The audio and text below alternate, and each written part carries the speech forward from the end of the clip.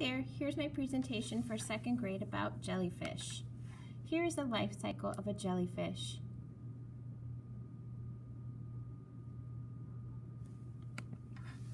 Here's the definition of a jellyfish. Jellyfish or jellies are soft-bodied, free-swimming aquatic animals with gelatinous umbrella-shaped bell and trailing tentacles.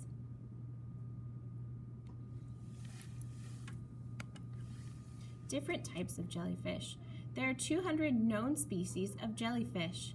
Based on these species, the color of the jellyfish may be white, pink, yellow, orange, red, blue, multicolored, or sometimes luminescent. Some jellyfish are venomous.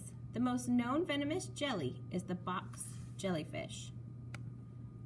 Fun fact, jellyfish are made up of 95% water. What do jellyfish eat?